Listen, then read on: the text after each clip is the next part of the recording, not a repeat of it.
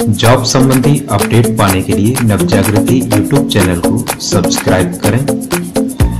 Video अच्छा लगे तो लाइक करें, दोस्तों के साथ शेयर करें।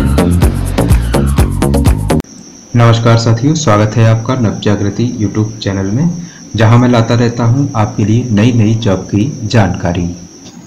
और आज की जॉब है नागालैंड पब्लिक सर्विस कमीशन द्वारा जारी स्टेनोग्राफर के पदों की। NPSC, Nagaland public service commission ने 20 स्टेनोग्राफर के रिक्त पदों पर भर्ती के लिए एक नोटिफिकेशन जारी किया है। इंटरेस्टेड और एलिजिबल कैंडिडेट्स इसमें अप्लाई कर सकते हैं, जिसकी शॉर्ट इन्फॉर्मेशन मैं आपको बताने वाला हूँ। पोस्ट का नाम स्टेनोग्राफर, जॉब लोकेशन इसकी नागालैंड है। पे स्केल इसका स्टेनोग्राफर ग्रेड टू का नौ हज़ार तीन सौ रुपये से चौंतीस हज़ार आठ सौ रुपये तक का है।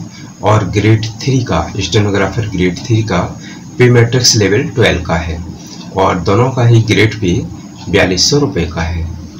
एज लिमिट एक जनवरी 2018 की गणना के अनुसार अभ्यर्थी की आयु कम से कम 21 वर्ष और अधिकतम 30 वर्ष होनी चाहिए। Educational qualification stenographer grade two पद हेतु शैक्षिक योग्यता अभ्यर्थी ग्रेजुएट होना चाहिए और शॉर्ट हैंड में 120 शब्द प्रति मिनट की गति तथा टाइप में 40 शब्द प्रति मिनट की गति होनी चाहिए। स्टेनोग्रेड टू के लिए शैक्षिक योग्यता अभ्यर्थी ग्रेजुएट होना चाहिए और कंप्यूटर ऑपरेशन में छः माह का डिप्लोमा होना चाहिए। शॉर्ट हैंड में 100 शब्द प्रति मिनट की गति तथा शॉर्ट हैंड में एक वर्ष का सर्टिफिकेट कोर्स किया हुआ होना चाहिए। एप्लीकेशन फ़ी तीन सौ रुपये आवेदन शुल्क सभी अभ्यर्थियों को डिमांड ड्राफ्ट के माध्यम से पे करना होगा। Demand draft secretary, Nagaland public service commission, Kohima के नाम पेबल होना चाहिए। नंबर ऑफ़ वैकेंसी, इसमें टोटल पदों की संख्या 20 है। Selection process, selection will be based on written exam, skill test and interview. इसमें सिलेक्शन रिटर्न एग्ज़ाम और स्किल टेस्ट और इंटरव्यू पर आधारित है।